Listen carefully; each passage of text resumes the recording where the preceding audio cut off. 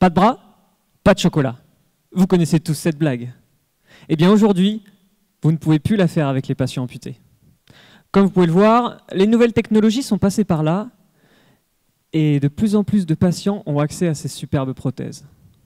Pourtant, même après de longs mois de rééducation, beaucoup d'entre eux les abandonnent.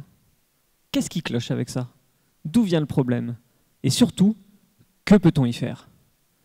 C'est là que moi, Mathieu, kinésithérapeute de formation, je décide de laisser ma blouse de côté et d'aller faire une thèse, afin de chercher des réponses, voire même des solutions.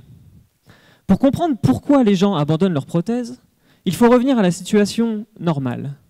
Pour bouger votre bras, vous envoyez des messages à vos muscles qui se contractent et mettent en mouvement le squelette. Vous savez que votre geste est bien réalisé car plein de capteurs à l'intérieur de votre corps envoient des informations pendant la réalisation du geste et notamment des informations sur la position des articulations.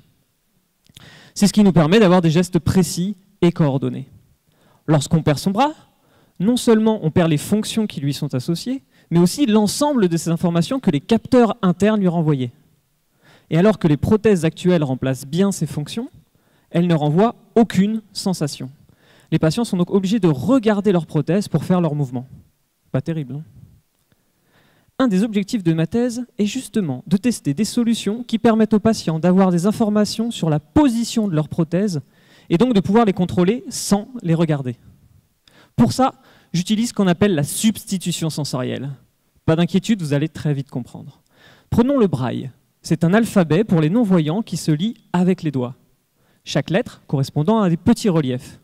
C'est ainsi le sens du toucher qui remplace la vue. La substitution sensorielle, c'est ça. Envoyer le même message en remplaçant un sens par un autre. Dans mon cas, j'utilise des petits vibreurs, les mêmes que l'on retrouve dans tous les smartphones, que je mets directement sur la peau au niveau des moignons des patients. Ensuite, je leur fais apprendre le nouveau langage des vibreurs, en les couplant à la position d'un bras virtuel sur un écran. Ainsi, lorsque les patients contractent leurs muscles comme ils le feraient pour contrôler leur vraie prothèse, le bras virtuel bouge, et sa position est directement transmise par les vibrations sur la peau. Une fois entraîné, on peut donc savoir si les patients arrivent à reconnaître la position du bras virtuel rien qu'avec les vibrations, en enlevant l'image de l'écran. Mais ça, j'aurai la réponse l'année prochaine. Alors voilà, vous avez compris globalement pourquoi les patients ont tendance à abandonner leur prothèse. C'est une question de message sensoriel et l'information de position en est un. Mais il en existe d'autres, comme la pression, le toucher, la température. On va donc pas manquer de travail pour les prochaines années. Mais la science avançant, je suis sûr que demain, les patients utiliseront de mieux en mieux leurs prothèses et je l'espère, ne les abandonneront plus. Merci.